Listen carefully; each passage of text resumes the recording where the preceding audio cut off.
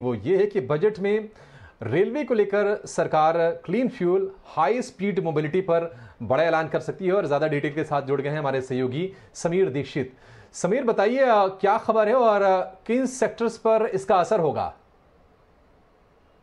जी बिल्कुल, railway sector से जुड़ी हुई ये बड़ी और एक्सक्लूसिव खबर कि अगला जो रेल बजट पेश होने जा रहा है एक फरवरी को इसमें रेलवे क्लीन एनर्जी और हाई स्पीड मोबिलिटी पर अपना फोकस बनाए रखेगा। यही वजह है कि सूत्र बता रहे हैं कि अगले रेल बजट में एल्यूमिनियम बेस्ड ट्रेन सेट की अनाउंसमेंट की जा सकती है। एल्यूमिनियम बेस्ड ट्रेन सेट का सीधा मतलब यह है कि बड़े शहरों के बीच में तेज गति से ट्रांसपोर्टेशन संभव हो पाएगा। एल्यूमिनियम बेस्ड ट्रेन सेट जो है वो लगभग दो हज़ार की संख्या में इसकी अनाउंसमेंट की जा सकती है और यह अगले तीन से पाँच सालों में भारतीय रेलवे में शामिल किए जा सकते हैं। अभी जो ट्रेन सेट हम देखते हैं, वो वंदे भारत ट्रेन सेट है। इसका जो आधुनिक स्वरूप होगा, वो स्टेनलेस स्टील से आगे बढ़ करके railway aluminium based train set बनाना चाहती है, जो न केवल 120 किलोमीटर प्रति घंटे की एवरेज रफ्तार से ज़्यादा चल पाएँगे, बल्कि इसमें तमाम नई सुविधाएँ भी शामिल हो पाएँगी।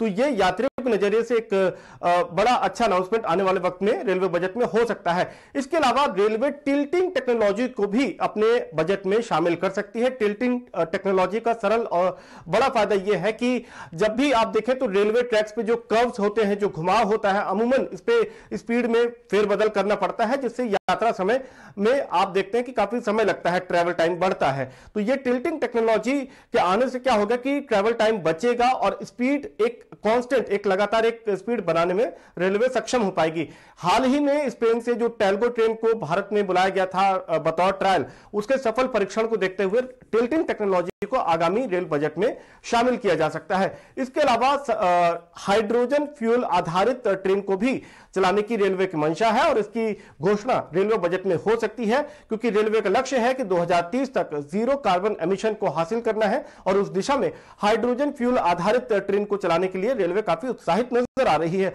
तो कुल मिलाकर के clean energy high speed mobility पर ज़ोर रहेगा और उसी दिशा में एल्यूमिनियम बेस्ड ट्रेन सेट की अनाउंसमेंट हम देख सकते हैं। हाइड्रोजन फ्यूल ट्रेन की हम अनाउंसमेंट देख सकते हैं। टिल्टिंग टेक्नोलॉजी भी एक बड़ा पहलू होगा तो ये सब मिलाकर के रेलवे बजट की घोषणा होगी। और जो इस बार का रेलवे बजट होगा, वो कुल मिलाकर के एक लाख तीस हज़ार करोड़ के आसपास रह सकता है। शुक्रिया समीर इस जानकारी के लिए। चलिए, इस शो को हम यहीं पर अब समाप्त करेंगे। थोड़े से वक्त की कमी है। एक छोटे